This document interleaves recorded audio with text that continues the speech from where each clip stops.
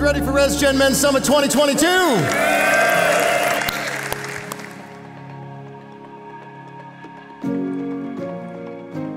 when we seek to exhibit the fruits of the Spirit in every area of our lives, we're gonna be better husbands. We're gonna be more engaged dads. We're gonna be more compassionate neighbors, friends, students, bosses, and community leaders. And that, my brothers, is exactly what our world needs and what today is all about.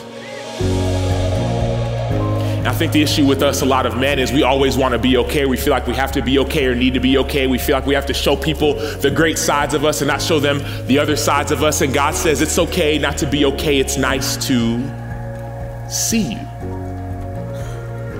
The real you, the whole you. One, I love meeting new people. It's so fun. I only have one pet peeve. It's when somebody sees me like on a poster, I'm at an event, and there's always one person comes up to me at the event before it happens. They go, "Hey, you the comedian?" I'm like, "Yeah, I'm the comedian." They go, "Tell me a joke."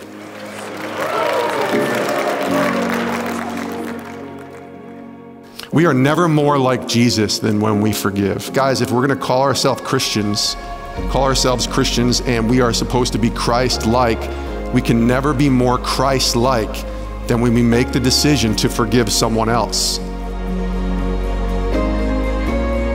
What temperature are you setting in the rooms that you enter? As you come down the stairs in your home, as you walk into your office building, as you walk down the hallways of your campuses, what temperature are you setting? Are you, are you enhancing the climate? Or are you doing the opposite?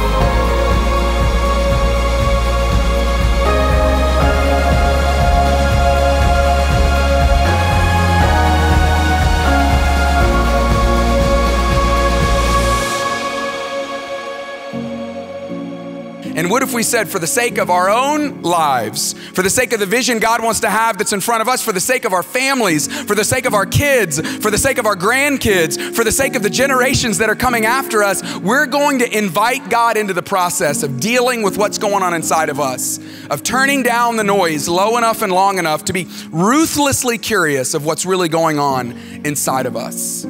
It's the way God wants us to live.